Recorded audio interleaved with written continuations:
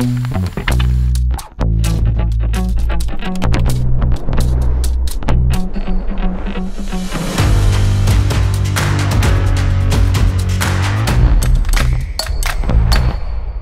thiệu với các bạn một chiếc ghế công thái học đến từ nhà Hyperwork, có tên là Sleek. Sở hữu thiết kế tinh gọn, ghế công thái học Hyperwork Slick vẫn đáp ứng đầy đủ nhu cầu sử dụng của người dùng.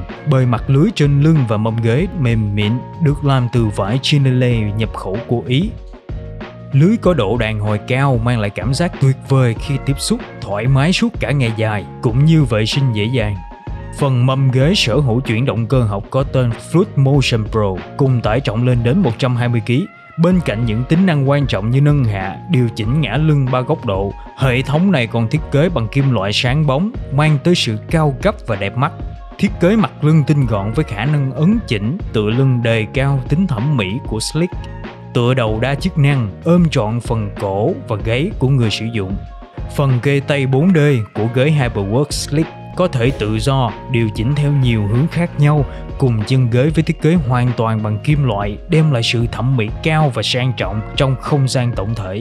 Chất liệu kim loại dành cho mâm ghế và chân ghế slick đảm bảo sự bền bỉ vượt thời gian, tạo ra sự yên tâm cho người sử dụng.